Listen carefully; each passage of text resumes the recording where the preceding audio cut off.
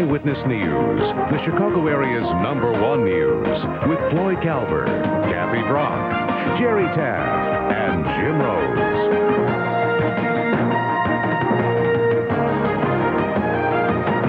Good evening, everyone. I'm Kathy Brock. And I'm Joel Daly. Floyd Kalber is still away. In our news tonight, a brand new development and a Chicago connection in the O.J. Simpson case. As Channel 7 first reported, Chicago police tonight are examining clothing discovered near the former O'Hare Plaza Hotel. Simpson stayed there for a short time in the hours after the double murder in Los Angeles. Among the items found, a pair of black sweatpants and an Army field jacket. Do the items have anything to do with the O.J. Simpson case? Channel 7's investigative reporter Chuck Goudie tells us that officials are taking this discover very seriously. Chuck broke the story and he has more from the newsroom tonight. Chuck? Kathy, he's a suburban Schiller Park apartment resident. Now he's a bit player in the legal production called The People versus O.J. Simpson. William Griffin of Schiller Park was taking a regular jog through the forest preserve near his apartment when he saw something that he filed away in his memory, only to be recalled when he heard some familiar testimony in the Simpson trial. And tonight, what William Griffin saw and heard has attracted even the attention of the Los Angeles police chief. We acknowledge that something exists, these clothing exists. Uh, they were found uh, out of state in Chicago, and we're going to find out what, what it means right now. Los Angeles police tonight awaiting the clothing found in this forest preserve near O'Hare Airport, a half mile due west of the O'Hare Plaza Hotel, where O.J. Simpson stayed the morning after the murder. Police sources say a jogger in the Chicago preserve had spotted the ball of clothing along a fence lined trail, but thought nothing of it. Until listening to yesterday's testimony of Simpson house guest Kato Kaelin. At the best of my recollection, I thought it was a sweat outfit. Okay, what color was it? Dark color. Could you tell? It was either blue or dark blue or, or black. After hearing Mr. Kaelin, the jogger called LA police, who asked Chicago detectives to accompany him to the trail, where they found a camouflage army jacket and a pair of black sweatpants. Both items taken to the Chicago Police Crime Lab will be forwarded to the LAPD. The discovery comes nine months after a sweeping search of a different wooded area just south of the hotel. That search turned up no clothing and no murder weapon.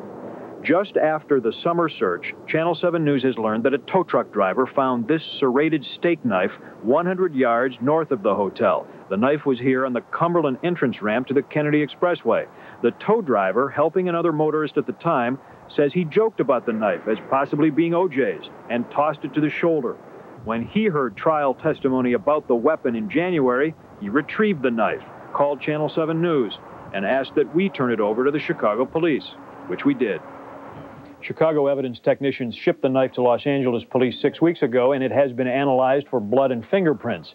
LA detectives will not reveal the results of those tests, but investigators in Southern California say autopsy results on the murder victims showed that a smooth edged knife was used and not a serrated knife like the one the truck driver found. It is very likely that the test results on the clothing will show that neither article is related to the O.J. Simpson case. That is late word from Chicago police tonight, but it's only a guess. There hasn't been any testing done. And Joel and Kathy, uh, they say that the clothing looks as though it was not out there for nine months, which is the period of time since the murder. All right, Chuck, thanks very much. And now the latest in today's testimony in the Simpson trial. Brian Kato Kaelin was on the witness stand again all day. Court has now finished for the day in Los Angeles with the defense wrapping up its cross examination. Here then the latest. Judge Ito tells the jury they will take tomorrow off so he can work on other cases. Testimony in the Simpson case resumes Monday morning with Kato Kaelin back on the stand. Late this afternoon, Kaelin again testified under re- redirect by the prosecutors that O.J. did not want him to move in with Nicole Brown Simpson, saying it wasn't right.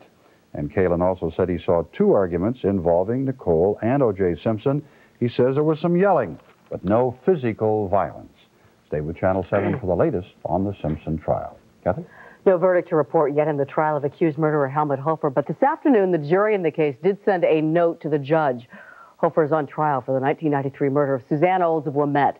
The note from the jury foreman indicated that a male juror is refusing to abide by the law as it applies to the Hofer case. The judge simply responded by reminding jurors that they are sworn to follow the law and asked them to continue their deliberations. This is the fourth day of deliberations in Skokie. Kathy, in just a little more than 24 hours from now, Chicago will be buzzing. Electricity will fill the United Center for what else but Michael's homecoming. Today, Michael Jordan stepped inside the new stadium for the first time as a player, but he was long gone by the time our cameras were permitted in. We're told his is practice for about an hour and a half. But Michael couldn't escape the United Center without a swarm of cameras and reporters following him. Channel 7's Andy Neville now has more on Michael Mania. Andy? We sure do here. You know, Michael Mania is more than just about basketball. As everybody knows, it's pretty much about sensational marketing. You've got t shirts, I'm back, and jerseys, pretty much anything you want with Michael Jordan's name on it, you can get. But besides the souvenirs, there's also a good deal of merchandise for the serious sports enthusiast, like basketballs, for instance. And just like these souvenirs, the manufacturers are working feverishly to get this stuff into the stores, the stuff that Air Jordan is made of. Since the Michael Jordan rumor mill began a few weeks ago, manufacturers have been going crazy to fill the needs of hungry fans. Chicago based Wilson Sporting Goods was not to be left out. They started designing new Jordan logos for their basketballs so that when the announcement came, they would be ready. Immediately, as quickly yes. as you can. Uh, the conversations we've had with our key retailers is, you know, how soon can I have it? And there really hasn't been a question of what, you know, the product or the pricing at this point. Doesn't matter what it is or how much it costs, just get it to yes. the store. Wilson's been making Michael Jordan products since Michael got out of college. In fact, they've sold over 10 million balls with Michael's name on it. In the last four to five years, that's meant about $50 million in business to the company. With the profits that high, the Wilson design team wasn't going to miss the boat on all the new Jordan excitement. They came up with three basketball graphics to meet what they expected would be an immediate demand. On Monday night after the Sunday game, we had to change all the numbers from 23 to 45 because we had we had speculated that Mike was coming back, but uh, we didn't know what number it was going to be. So we started designing things last week with 23s on them, and so um, thank you, Mike. We're we're redesigning it. Mark Desjardins designed about 99% of all the basketballs with Jordan's name on it. In a lot of ways, it's kind of like getting to know an old friend again, really, you know. But it's it's a lot of fun. Michael makes it a lot of fun, and uh, it's just the hype around him, and it's it, it's been very very exciting. Wilson says those first three designs should be in the stores by mid-April. Andy Neville reporting live from Sportmart, Channel 7 Eyewitness News. Joel? Have a ball. Thanks, Andy. More on the Jordan homecoming story coming up in sports. And a reminder tomorrow night we'll have a special one hour edition of Eyewitness News at 10 with expanded coverage of Michael Jordan's return to the hard court here in the city of Chicago. Stay with Channel 7 for complete coverage of Michael Jordan's homecoming. Illinois eye doctors tonight charging Senate President Pate Philip with improperly influencing a bill. Now, the issue involves Philip's wife, Nancy, who became a trustee of the Illinois College of Optometry a year ago. Optometrists are not physicians, but over the objections of eye doctors or ophthalmologists, the Senate passed a bill allowing optometrists to treat minor eye irritations. Philips denied that his wife's position has anything to do with the bill's passage. In a statement, he says, quote, I did not exert any influence over the bill. There is no tie between my wife's position on the board and the bill. 41 other states have similar legislation, and the bill could lead to lower costs for patients and better services, end quote. It is becoming one of the most hotly debated issues facing suburbanites in the upcoming election. Arlington International Racecourse officials are working hard to convince voters to approve casino gambling at the track. On April 4th, voters in northwest suburban Arlington Heights are going to be asked if casino gambling should be permitted there. Channel 7's Andy Shaw looks at both sides. The opponents of riverboat gambling at Arlington International Racecourse are laughing this evening because the only, quote, navigable waterway out here is the mighty Salt Creek, meandering through the racetrack grounds 10 feet wide and 2 feet deep, conjuring up visions of another Panama Canal project to make it big enough for a giant riverboat unless the state changes its casino laws. We thought they were just joking about it until we found out there was a dredging permit, and the Army Corps said, sure, it can be considered navigable. You'd have to do a heck of a lot of dredging uh, to, to get something in there, and I can just imagine what the people downstream would be thinking about that. Track officials say it's an option if the casino referendum passes and state lawmakers give them a license. And look what happened over at, at, at Fox River. They took a, a, a river that was three inches deep and they dredged it to nine feet, and they've now got a boat in there that's 100 feet longer than the river is wide, and somehow that's navigable, and they're cruising there. The racetrack is spending $150,000 trying to get this referendum approved. That includes a lavish cocktail party buffet last night for 300 local election judges and precinct captains, and a new study by a former FBI agent claiming a riverboat casino will not appreciably increase crime here in Arlington Heights. If you were to place a shopping center uh, on a piece of property rather than a, um, uh, a casino operation, you're going to find essentially the same kind of crime conditions. He put down what they asked for because that's what he was paid for. The other big issue, of course, economic. Track owner Dick Duchossois threatening to cancel horse racing after this season if he doesn't get a casino license. That would be a major blow to the village of Arlington Heights, and a casino would be an economic bonanza in terms of tax dollars and jobs. But is Arlington Heights really just another struggling river town ready to turn a stream into a major waterway? Well, the voters have their say on April 4th. Reporting live in the newsroom, I'm Andy Shaw, Channel 7 Eyewitness News. Joel and Kathy, back to you. Interesting to see if they can get a vote on that. Not yet. Thanks, Andy.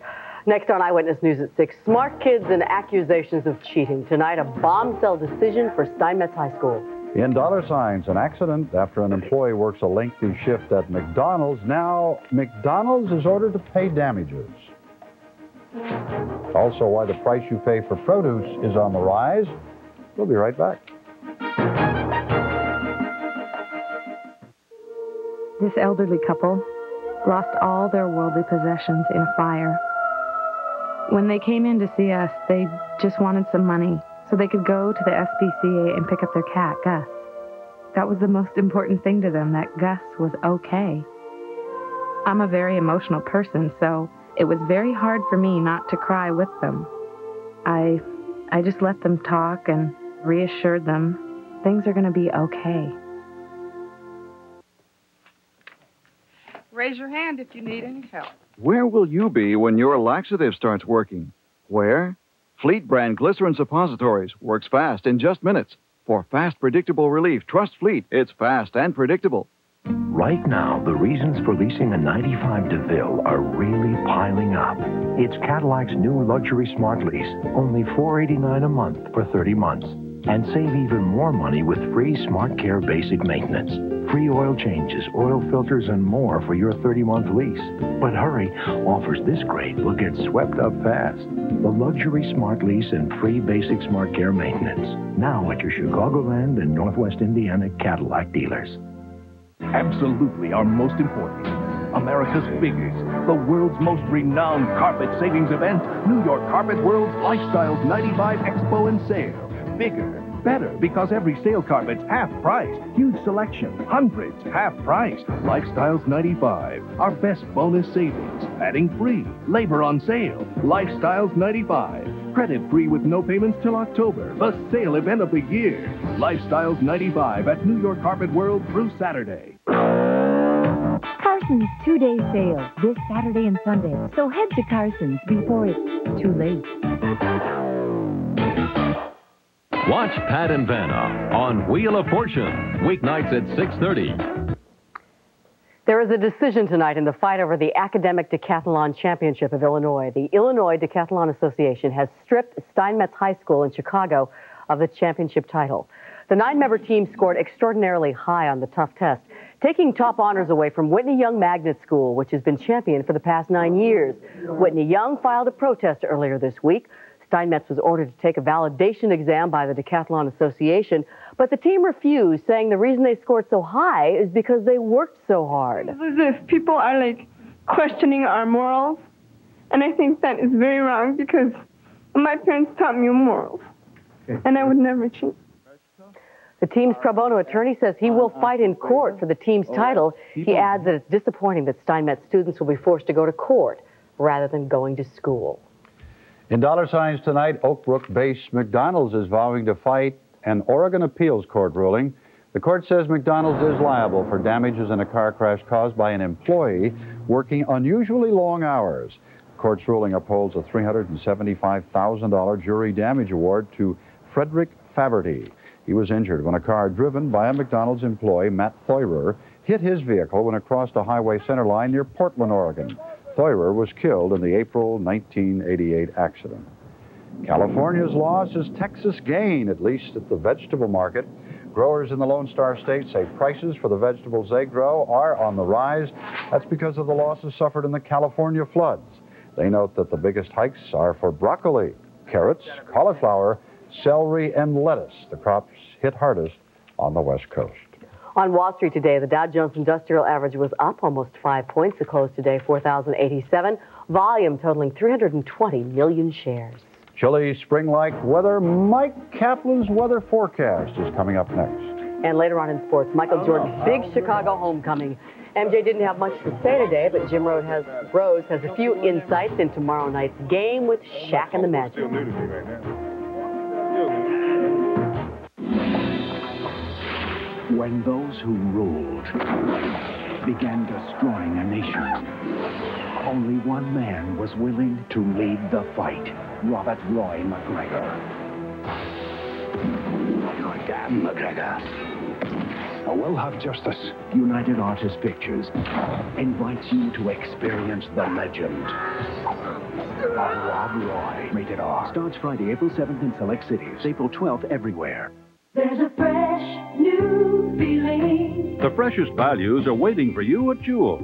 Get a sneak peek at summer's best with fresh strawberries, just 79 cents a pint. Enjoy grade A freshness with our whole frying chickens, only 49 cents a pound. Save on cooked smoked ham shank portion, just 79 cents a pound. And don't miss Jewel's buy one, get one free sale. Double up on favorites like these and more. For the freshest values, Homemakers, the great Chicago furniture store, just got even bigger. Next Saturday, March 25th, we're opening a brand new showroom right here in Morton Grove at Dempster and Waukegan Road. So, come on, we're throwing a furniture party, a terrific grand opening sale in every department at all six locations, and there are no payments due till July. A great new store in Morton Grove opens this Saturday at Dempster and Waukegan Road. John and Homemakers. Your local Nissan dealers are on a record-breaking pace, and they've been challenged to move their entire inventory of award-winning Nissans by April 3rd. Lease an Altima GXE for just 199 a month for 36 months with $19.99 down. Get 1.9 financing on all Altimas and Quests. Plus, choose financing with zero down and no payments for 90 days on all of the award-winning Nissans. Lease the all-new Maxima for just 299 a month for 36 months with 1,500 down. The challenge is on now through April 3rd at your nearest Nissan dealer. Now, Mr. Kaplan, what do you have to say for yourself today? Well, we had some wild Not much. stuff last night and this morning. Wild, and you're not the wild kind of guy. I, I like Snowing to- at my house this morning. Mine too, yes. In addition to the uh, regular bowl of breakfast flakes at the uh, Brock and Kaplan Ranch, we had the chunky chunks of brand food and light snow coming down this morning. This is spring. We're supposed to be putting this stuff behind us, but I uh, think we may have one more round of snow here in the five-day forecast. Talk more about that in a moment. Overnight rainfall was kind of meager, a quarter inch or so at Park Forest, lesser amounts at Aurora, Wheaton, O'Hare officially chimed in with three hundredths of an inch. Cold day, 41. That's it for the high. This morning's low was 36 degrees. That's below normal. 37 degrees right now. Winds really adding an extra nip to the air. Northeast at 14. Barometer 3003 and on the way up. Along the lakefront, it's 36. Midway's temperature now 37 degrees. In Harvey, it is 38. Same temperature at Evanston, Glen Ellyn at 39. New Lenox, 38 degrees. Skies at least have been gray all day. Are going to be clearing up later on tonight. Drier air coming in from the north. And uh, while that's nice, we'll be able to see some stars. It's also going to allow temperatures to crash tonight into the 20s. Right now, the warm air heads south. 87 in Dallas, San Antonio 90. It's warmer than it is out in the deserts of California and Arizona, where California continues to get pummeled with rain and snow. Look at the radar picture out here. Thunderstorm going on in San Francisco right now, but get up into the hills outside of a Lake Tahoe. Eight feet of snow there since Monday. Great for skiers if you can get to the slopes. Tomorrow's weather map, here comes this storm. Will be moving into the plain states. Showers and thunderstorms breaking out ahead of it. Those will be affecting us Saturday night and Sunday. And in the cold air behind this, we may have to deal with a couple of flakes of wet snow here on Monday. Here's the forecast. Clouds will be, yeah, doesn't that put a smile on your face? Clouds will break this evening. Chilly temperatures in the 30s with wind chills in the teens. 28 for the low tonight with mainly clear skies. Bright day tomorrow, lots of sunshine, a high of 51, but it will be much cooler along the lakefront. Chilly again tomorrow night, partly cloudy with a low of 30. We'll hit 55 Saturday, nighttime showers. Sunday looks wet with 52.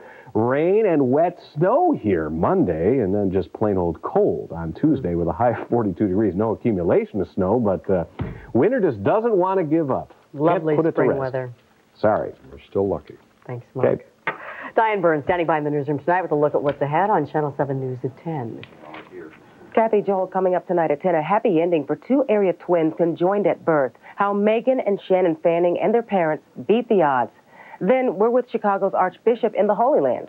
Genuine failures, the son. I'm Alan Krashesky in Jerusalem, where Joseph Cardinal Bernardin is giving a major speech on anti Semitism tonight. Complete coverage of Cardinal Bernardin's pilgrimage and his visit to the Holocaust Memorial. Join John Jury and me for Channel 7 News coming up tonight at 10. Joel, Kathy? Thank you, Diann. Sports is up next. This is where the nation was first introduced to Michael Jordan, and for the first time since 1982, Georgetown and North Carolina will have an NCAA reunion. Jim Rose says that and all the sports just ahead. 199 It's the payment at your neighborhood Mitsubishi dealer. for a 95 Galant or Eclipse. 199 199 a month or buy with zero down and 2.9% financing. 199 199 a month, 30 months for America's favorite family sedan Galant S or the sporty Eclipse RS. 199 or buy with zero down and 2.9% financing. 199 Galant S or Eclipse RS built right here in Illinois only at your nearby neighborhood Mitsubishi dealer. Yes, we can match any color. No problem. Customers don't want to stand around and wait. They can't get the project done waiting. Yes, we can match this color. This is your Brussels sprout green. faster I can finish here, sooner he can get out. If they want that color, we do our best to get it. Bowling ball blue. And here's your ball. Add new color to any room in the house or freshen an existing look with Spred Satin interior paint from Glidden. It's one of their most durable and scrubbable wall paints, and it's available at a guaranteed low price every day at the Home Depot. If you've ever been there, uh, I mean, after, you are so impressed by how people can survive just about anything. People are fighters. You know, they want to get back up, they want to get back to business. We're not some big, ominous insurance company. We're people just like they are. And we're there when they need us. While some people plod through the daily routine, there's something about driving a Jeep Grand Cherokee with a standard driver's airbag, four-wheel anti-lock brakes, and a 220 horsepower V8 that can turn an ordinary day into an extraordinary day. Now get terrific option package values on Jeep Grand Cherokee. See your local Jeep and Eagle dealer. Jim Rose back from Boston. Let me guess what we're talking about tonight. Basketball, my favorite sport. You know, I like the way they dribble up and down the court. I keep going on and on, but they want to find out about Michael Jordan, who made a triumphant return to the Boston Garden last night. Perhaps taking a page from the book of Deion Sanders. Jordan said he was glad to play well in a place that has been so kind to him, the Boston Garden. Said it felt like home. Once again today, as Michael left practice, he was surrounded by the media. This was the first chance to shoot some baskets at the United Center, but they wouldn't let us take pictures of it. The subject came up about his home debut against the Shaq Band, Grant, and the Orlando Magic tomorrow night, a home Michael has never played in before. I don't know. I don't remember how it used to be. but as long as you go in the hole, it doesn't matter. You comfortable in there, Michael? How did, how'd it feel? I'm not comfortable. It's still new to me right now. I, I wish he would have came back our game and then been a little rusty, but now uh, with him having two games in advance, it's going to be harder. Michael is a great player, great person. Like I said, I'm, I'm just going to be honored to be on the same court with him. The monotone of the Shaq Man. Don't forget tomorrow night after the game, Channel 7 Eyewitness News will have an expanded hour newscast beginning at 10 to bring you all the highlights and all the post-game live from the United Center. Last night when Michael hit his first three shots, including this three-pointer, you could just sense that he and his teammates were relaxed. Celtics were never in this one, and Michael got everybody involved. Bulls one going away, 124 or 107. I like the way he puts it on the floor like that one-handed. Halftime, the Celtics' former captain Reggie Lewis had his number 35 retired even as rumors persist that Lewis used cocaine during his career. Former teammates continue to back Lewis, who died in 1993 of a heart attack. I was sitting down when Donald was talking, what he would say uh, to the crowd, how he react, uh, give that little smile and stuff. So, you know, it was great. I was very happy for, for the ceremony, but was very sad because he's not here to enjoy it. Bulls owner Jerry Reinsdorf was in town today accepting an award from the United States Air Force. Now that Michael is back in the fold, does it change the Bulls' philosophy of how they want to structure the team to play around him? Uh, certainly, with, with Michael gone, I think you know our philosophy philosophy was going to be to, to get younger. Uh, now, if you figure that Michael will play maybe three or four more years, instead of getting younger, you try to fill the holes that you have as fast as you can, probably with, with, with veterans. And the hole is a power forward, by the way. Week two of the NCAA tournament gets underway tonight with a number of key matchups around the country. And you know, Michael Jordan will have some fond memories when his North Carolina Tar Heels take on the Georgetown Hoyas. March 1982, Michael hits the shot for North Carolina to beat Georgetown and the NCAA championship, and now they will all meet again. And of course, the number one Arkansas fan is hoping of a repeat championship for his beloved Razorbacks. Considering they have barely survived getting to the round of 16, the president suspects that maybe they have gotten some help from above. After the last two games, there's some divine providence that keeps us going. So I'm more hopeful now than I was when they started the tournament. Finally, gusting winds of up to 35 miles an hour are playing havoc with the golfers at the Tournament Players Championship. Seve Ballesteros found out at the infamous 17th island hole. But some players managed. Here's the shot of the day. Ernie Els' approach on 14 that sets up an easy birdie.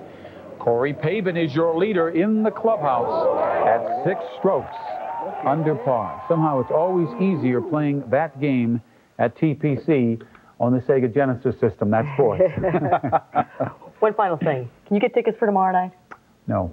There are no Press tickets. pass. I have a no, press- no, no, not you. Oh, you can get them. Anybody. Can you get tickets? Oh, you can get them if you have about a thousand bucks. Wow. Scalpers are they're going That's for. right. hmm So you have to have a lot of money to Lots of cash. Okay. Well, we'll watch it on television. Mm-hmm. That's it for Channel 7 News at 6. I'm Joel Daly. I'm Kathy Brock. For Jim Rose and Mike Kaplan, have a great night, everybody. Night.